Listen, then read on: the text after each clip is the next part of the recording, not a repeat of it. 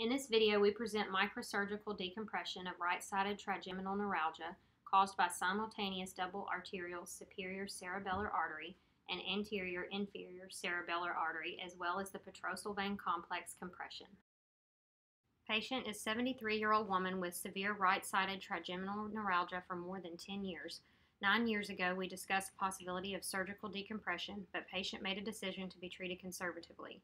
She was treated with six different medications. Conservative treatment failed, and she was complaining that over the last year, pain worsened. We discussed all treatment options with her and her family, and she decided to go for the surgical decompression. Preoperative MRI did not reveal any visible abnormalities associated with right trigeminal area. The position of the patient is supine with right sided shoulder roll and the head tilted to the contralateral side approximately 35 degrees. We shaved her hair around the ear approximately three finger breadths and marked the transverse sinus. Important landmark for the transverse sinus outline is the extension of the zygoma. If we place a line along the zygoma course and extend it posteriorly, it would invariably mark the course of the transverse sinus. This is outlined as the blue line on the picture and is particularly useful landmark if the surgery is done without the neuronavigation. We then marked the outline of the mastoid and the sigmoid sinus as well. The skin incision is outlined with the red line circling behind the ear approximately two finger breadths and going down towards the lateral crease of the neck.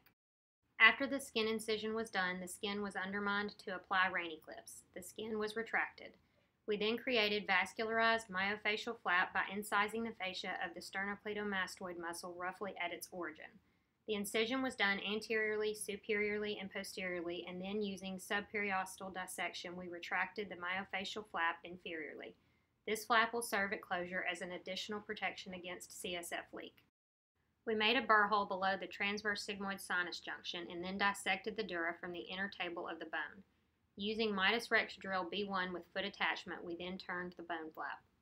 The dura was opened in a cruciate fashion opening first the inferior part of the cruciate incision to avoid cerebellum bulging. Once we visualized the arachnoid membrane, we opened it. A gush of CSF immediately came out and the cerebellum was relaxed. At this point, we visualized 9th, 10th, and 11th right sided lower cranial nerves and the PICA artery. We then completed the dural cruciate opening, extending the cut towards the transverse sigmoid sinus junction, and then additionally cut posteriorly and superiorly. We then tucked the dural edges to the surrounding soft tissue with 4 Nurolon stitches. It is visible that the cerebellum is now nicely relaxed and that there is no need of any retractor placement. We then turned our attention to the area of the fifth cranial nerve and opened the arachnoid membrane. No retractors were used and only gentle intermittent retraction was done over the micropledgets.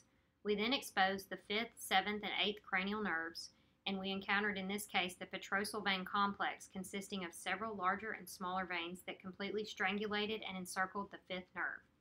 We now started coagulating and dividing elements of the petrosal vein complex, both inferior, posterior, and superior to the fifth nerve. We realized that there is additional compression of the fifth nerve superiorly by the superior cerebellar artery and inferiorly by the AICA. We then release the arachnoid membrane both superiorly and inferiorly to the nerve by sliding the microhook superiorly between the nerve and the artery and dividing it with the blunt tipped micro scissors. We perform the same procedure inferiorly, releasing the arachnoid membrane along the nerve distally. Paying attention not to manipulate the seventh and eighth nerve complex, we dissected away the AICA that was pulsating against the fifth nerve. We gently displaced it with the first Teflon pledget. We then coagulated the remaining inferior part of the petrosal vein complex that was encircling the nerve inferiorly, thus completing eliminating the venous pressure against the nerve. We placed a second pledget inferiorly to the nerve, securing the displaced AICA in position. Then we placed a new Teflon pledget to permanently displace the superior cerebellar artery away from the root entry zone of the fifth nerve. We placed second Teflon sponge superiorly to keep superior cerebellar artery separated from the fifth nerve. In this fashion, we completely freed up the fifth nerve from venous and arterial compressions. In the zoomed out view, it is visible that there is no violation or bruising of the cerebellar surface. We can also see the final position of two Teflon pledgets above and two below the decompressed fifth nerve. After removing a small blood coagulum below the seventh and eighth nerve complex, and after opening of the arachnoid membrane between the AICA and the lower cranial nerve complex, the whole anatomy of the CP angle is visible, starting from the fifth nerve superiorly, surrounded by pledgets, 7th and 8th nerve complex, AICA, ninth, 10th, and 11th lower cranial nerves, as well as the 12th nerve in the depth of the field. As we completed the procedure, we closed the dura with a watertight closure and then placed Duraform on top of the dura. We returned the bone in position using burr hole cover and one dog bone plate with screws. Finally, we completed the procedure with cranioplasty with HydroSet. We then returned and positioned the myofascial flap, suturing it with numerous 2-0 Vicryl intermittent stitches to the surrounding muscle tissue, thus providing watertight closure of the muscle layer. We then closed the subcutaneous tissues. Finally, the skin was closed with 3-0 running nylon. Postoperatively, non-contrasted axial CT scan of the brain was done, showing Teflon pledgets in the right CP angle.